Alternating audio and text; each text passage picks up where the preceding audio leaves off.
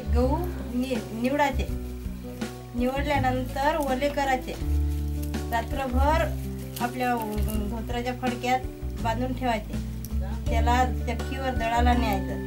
त्याची कणी येतात. ते गाळून काढायचे. कोंडा अलग निघते. पीठ अलग निघते. नंतर रवा टाकून थोडा भिजवायचा. त्याचे सरगुंडे होते. सरगुंडे त्यानंतर वरपून टाकायचे. ते रसा आंब्याचा रस राहते. ಬರುವ